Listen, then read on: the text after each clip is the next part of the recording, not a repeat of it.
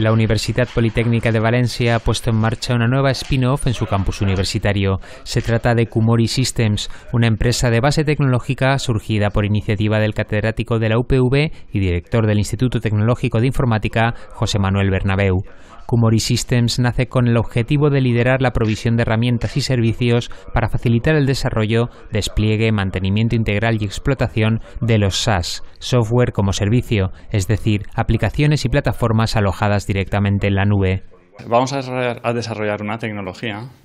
eh, que nosotros la denominamos un Platform as a Service, que funciona por encima de eh, lo que ahora mismo se ofrece en el mercado, que son Infrastructure as a Service, lo que ofrece Amazon, lo que ofrece Microsoft Azure, Google Computing Cloud.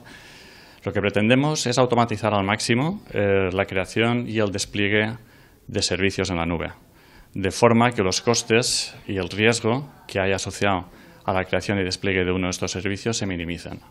En la actualidad el modelo SaaS es una alternativa poco conocida a pesar de las grandes ventajas que ofrece, menos gastos, ahorro en la formación del personal y en el mantenimiento de infraestructuras, incremento de la productividad, pero los estudios indican que en los próximos tres años su penetración en el mercado se disparará. Ya lleva unos años esta tendencia a ofrecer servicios basados en el software eh, va moviéndose más hacia el acceso a esos servicios por uso,